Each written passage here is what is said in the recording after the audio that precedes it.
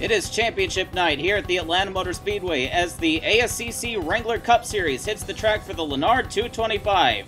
Aaron McLaughlin, car number 20 for McKinney Motorsports, took the Goodyear Pole Award and jumped ahead of the field on the first lap of the race, but he would slowly be reeled in by Anthony Evans in car number 10. Evans quickly made mincemeat of McLaw, but he would soon be challenged by Bobby Miller III, driving for the underfunded Christian American Motorsports uh, both Miller's father and grandfather, Bobby Miller Jr. and Bobby Miller Sr., are in this race as well. Miller III is a third generation driver. Speaking of Bobby Miller Sr., the patriarch of the Miller family was running in 40th in car number 50, teammate to uh, Bobby Miller III, his grandson. At least Miller Sr. is beating Seth Anderson and Lenny Weinberg at the moment. Lauren Roth makes a three-wide dive on Jack Bohart and teammate Dan Richards to take the lead on lap number seven. This door-to-door pack racing is exactly what the fans want to see at the end of this season. And now Roth comes from under attack by AJ Murphy in the 87 for uh, Accelerator Motorsports, but Murphy can't hold the car on the bottom allowing an opportunity for Bill Calhoun in car number 31. Calhoun, of course, won the prestigious Texas 500 at the beginning of the season, and they are going four wide behind the 31. And there's contact between Tony Durbin and Philip Caslow in the 27. Caslow was all over the place in that 27 car and almost took out Durbin, one of the stars of the ASCC Wrangler Cup Series, but thankfully, Durbin's experience prevented a huge accident.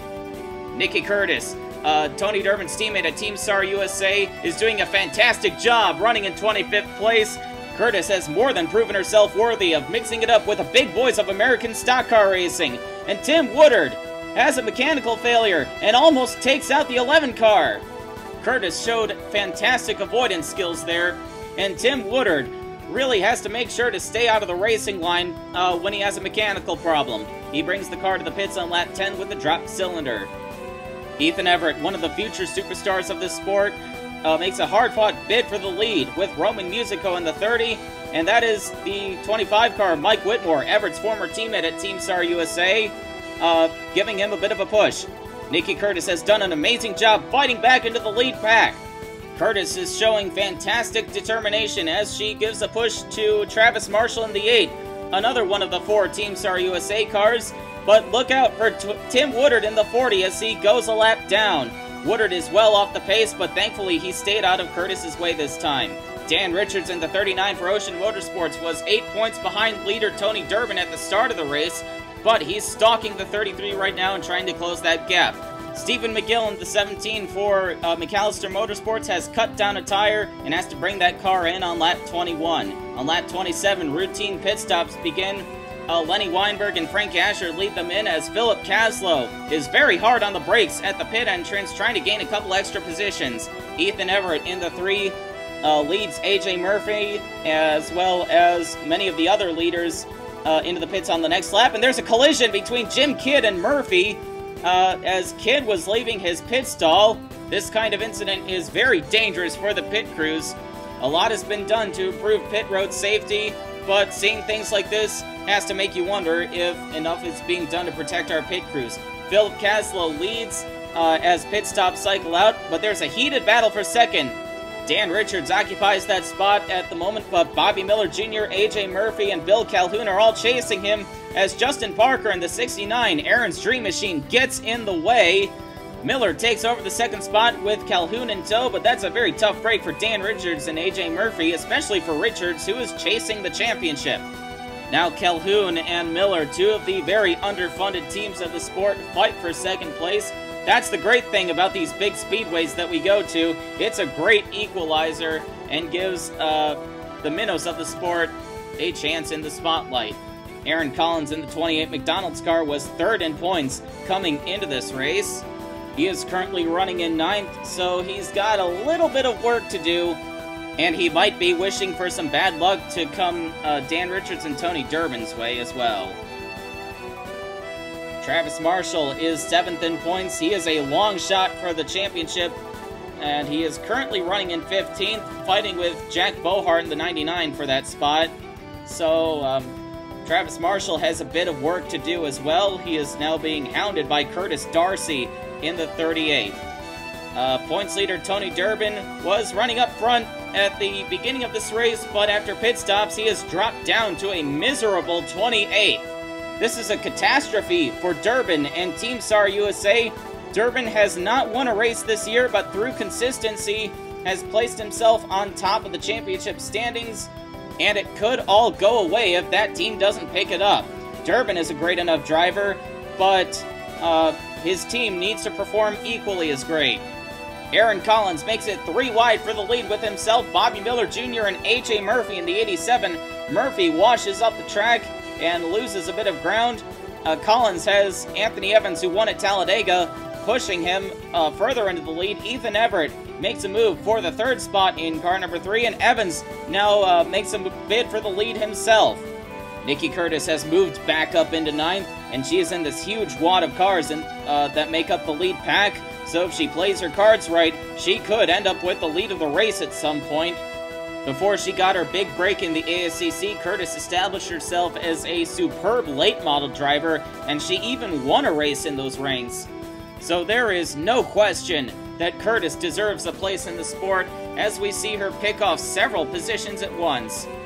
A three wide battle between Bill Calhoun, Bobby Miller Jr., and Philip Caslow is ruined by the slow lapped car of Tim Woodard in the 40. He was running around there with only seven cylinders under the hood. Woodard lets the inside line go while holding up everybody on the outside, which includes two of his teammates, Dan Richards and Lauren Roth. I'm sure that they do not appreciate Woodard's shenanigans right now. Joe Olenek, who won at Rockingham early on in the season, was fifth in points coming into tonight, but he is running in 21st, and it's a very lonely 21st right now. Uh, he's got Manny Brown a good few car lengths behind him. This is not how you win a championship, so Olenek has to pick it up. The second round of pit stops began around lap 54, but we had very few takers until a few laps into the cycle.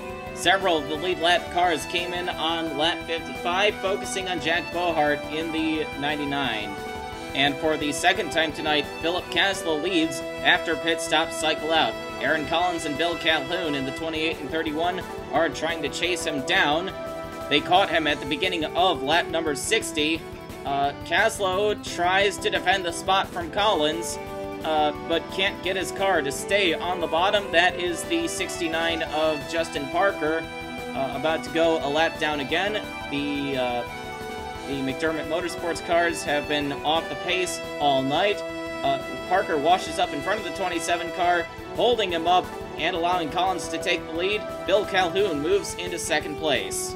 Roman Musico in the 30 for Evans Motorsports is currently in fourth. He was sixth in points uh, 38 points behind Tony Durbin coming into this race. The native of the Czech Republic is going to need some bad luck to come to his competitors if he wants to have any shot at winning this title. Dan Richards in the 39 is in 8th place. He sets up a move for 7th on his teammate Lauren Roth, but uh, Roth tries to shut the door on him. I don't think Roth is just going to lay over and play dead for Richards, even though Richards is chasing the championship. Richards, after losing that momentum, now comes under attack from Anthony Evans. Stephen Gill is back up to 12th and on the lead lap. However, he is off cycle on pit stops because he had that cut tire. Despite this, McAllister Motorsports seems to have given him a great car for tonight. His teammate Garth McAllister Jr., on the other hand, has been having a miserable night. He is currently in 31st place. Uh, McAllister won two consecutive races earlier this season, but that magic just isn't there tonight. McAllister's team owner and father, Garth McAllister Sr., was uh, largely responsible for reviving the ASCC, and uh, the series has put on a great show this year. Tony Durbin is still 29th as of lap 66 of the 147 scheduled, Durbin is running out of time as his disastrous night continues. He is fighting for position with the likes of Jason Richardson, who oddly enough won at Houston last week, uh, Calvin Hobbs in the 96, and Casey Lester in the 26 back there. Nikki Curtis is down to 16th, uh, largely because of the um, uh, shuffling that occurs at these big speedways. However, this problem shouldn't be difficult to overcome uh, for someone with a great amount of talent like Nikki Curtis. A hot dog wrapper was found in the quad oval grass, so the ASCC officials threw the caution on lap number 71 in the name of safety. Aaron Collins led on the restart. He's doing his championship bid a lot of good. Uh, Roman Musico in 30 is behind him with Frank Azure in third. But Azure and Bill Calhoun had a pit uh, the first lap after the restart. It seems that they both cut a tire down, so uh, maybe they ran over something. Phil Caslow in the 27 had a pit on the next lap. He had a cut tire just like Azure and Calhoun, and then on the next lap, uh, Aaron Collins had a pit. So obviously there is something that a whole bunch of cars have run over, and the officials didn't even notice it, and it has just cost Aaron Collins his championship bid. What a tough break for Collins and Bill Chapman Motorsports. They really did not need that. Anyway, this hands the lead over to uh, Roman Musico, the Czech driver, with uh, Ethan Everett, the American superstar, behind him. Uh, Aaron Collins in the 20, the pole sitter, uh, restarted a lap down. He's trying to get back on the lead lap in case we have another caution. Tony Durbin in the 33 has come to life. He is up to 23rd place. If he keeps this up, he will easily place himself back in the championship hunt. Ethan Everett and Curtis Darcy fight for the lead. Darcy uh, had his teammate Lauren Roth behind him, but Roth jumped up to the high line behind Ethan Everett. That was not a great decision for Roth as he uh, just fell back to fourth. Jack Bohart in the 99 has a huge charge coming out of turn 4, and he immediately challenges Darcy for the lead. Roth, with his teammate Dan Richards, jumps back to the low line and follows uh, Bohart into the lead. Now Roth is uh, peeking to the inside of the 99, looking at a three-wide challenge, but he doesn't need to do that as Tim Woodard uh, holds up the 99 of Bohart and Lauren Roth takes the lead of the race. Ethan Everett moves back into second. Mike Whitmore is third. Bobby Miller III has made his way back up into the top five, challenging Ethan Everett for third. Uh, Miller fell back early on, but he's done a nice job recovering uh, in this underfunded car. Speaking of underfunded cars, Craig Yonser in one of the other Trioval racing cars is up to sixth. This is a great night for Trioval Racing. They have been able to place two of their cars in the top 10. Uh, that team has gone without major sponsorship for the whole season, so uh, hopefully they'll gain a bit of attention and some decals on the sides of those cars. They desperately need them. Nikki Curtis has done a fantastic job recovering from getting shuffled back. She is now up to 11th. Just based on tonight, I would say that Curtis is easily one of the most resilient drivers of the series. Darren Moore in the number 24 Army car for Camelot Racing has blown up on lap number 96. Moore is truly one of the heroes of tonight's field. He is one of three armed forces veterans in the series, so it is very unfortunate to see something like this happen to him. Ethan Everett and Mike Whitmore, the former Team Star USA teammates, fight for the lead. Everett is all over the back bumper of Whitmore, but Whitmore in the Palmer Styles racing car is doing a great job holding him off until he washes up the track a little bit, opening up the door for Everett. And behind these two is the rest of the lead pack being held up by the lapped car of Bill Calhoun. Uh, Everett cannot make the move stick, and Whitmore clears him once again. Jim Kidd and Nicky Curtis uh, pit on lap number 99. This is the third cycle of pit stops that we have had today. Uh, Phil Harding in the number one car for Trioval Racing has a mechanical problem, and that car is slowed to a crawl on the backstretch. Uh, if I were a Trioval Racing driver, I would be very worried right now, especially since two of them have had a great night so far. After pit stop cycle out, Mike Whitmore is the leader. Calvin Hobbs in the 96 is a lap down and he's looking at fighting Whitmore to try to get his lap back if we get a caution. Hobbs jumps to the inside of the 25 car, breaking Whitmore's momentum and allowing the rest of the field to catch up to him, and then Whitmore gets held up by the 40 of Tim Woodard. Woodard has been quite the nuisance today, but Joe Olenek is probably going to be writing him a thank you note because uh, this just gave him an opportunity for the lead. Craig Yonser in the double zero moves up to second for Trioval Racing. That team is definitely onto something at these big speedways. I believe that they led a few laps at Talladega.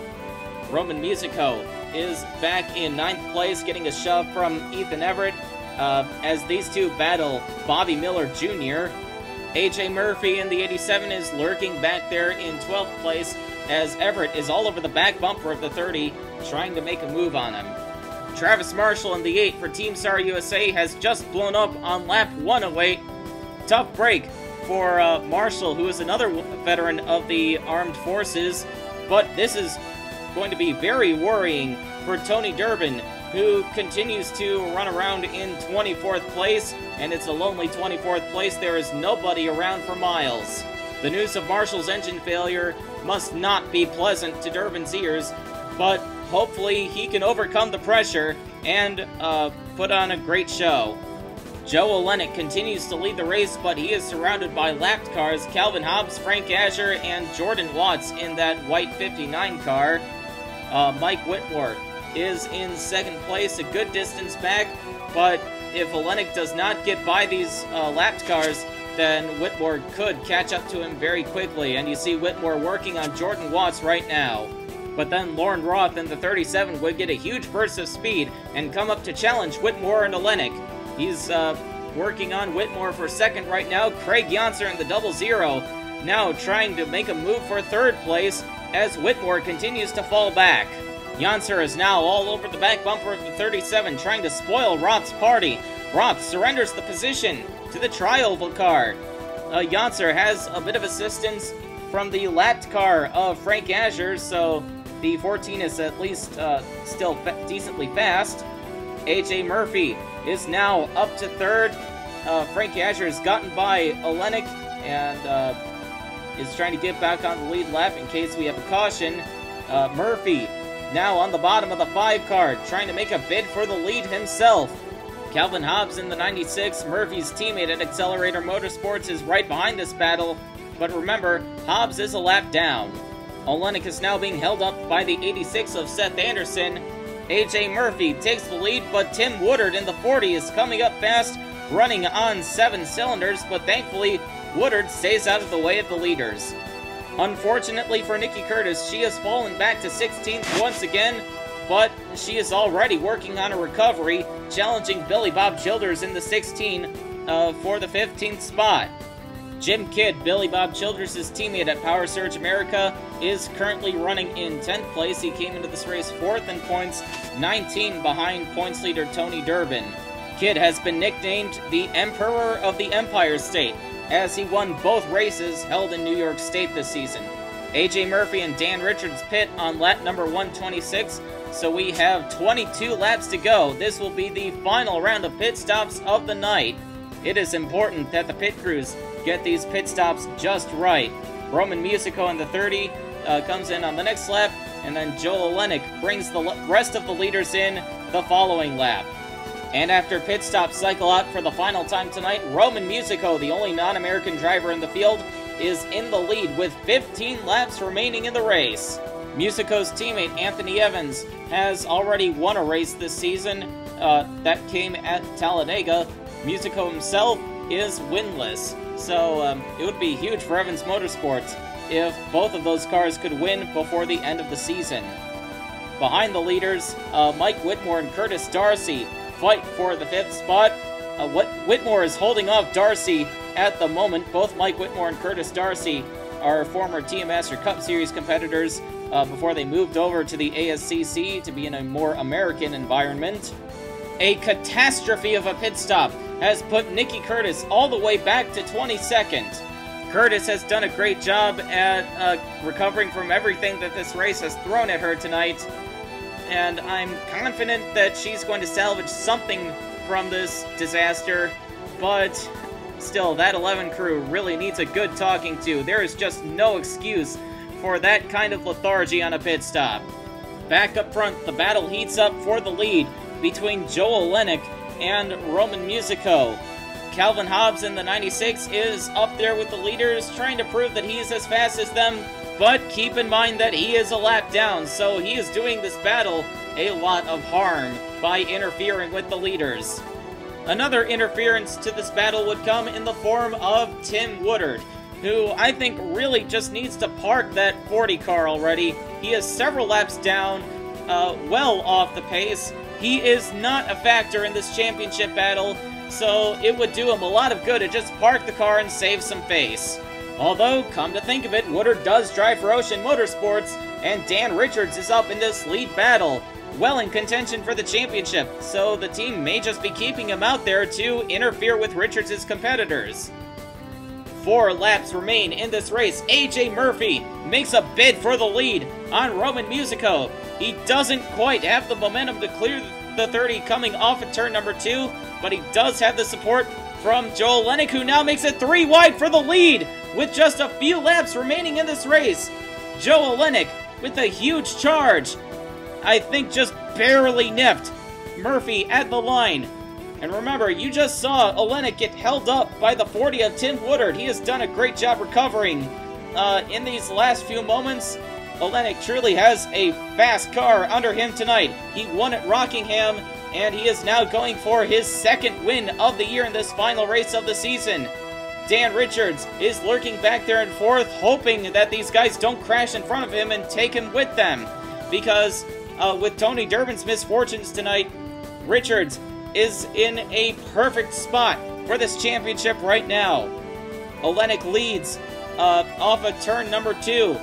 Only two laps remain in this race and in the ASCC Wrangler Cup Series season. Olenek has a pretty safe lead coming to the white flag as Roman Musico and AJ Murphy fight for second behind him. Olenek has Musico cleared by about a car length, and Musico is still focusing on that 87. He is busy uh, trying to protect the second spot, and it will be clear sailing for Joe Olenek in car number 5. Olenek comes off the final corner, and he takes the Lenard 225 at the Atlanta Motor Speedway. And with his fourth place finish, Dan Richards is the 2012 ASCC Wrangler Cup Series champion by just eight points over Tony Durbin, who almost won it all. If only uh, that team put together a better car for him tonight. Well, congratulations to Joe Olenek and Dan Richards. This has been a fantastic season for the American Stock Car Championship, and we hope to see you all again next year.